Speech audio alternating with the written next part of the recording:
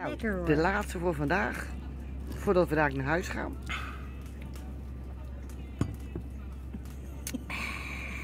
Hij is zo lekker.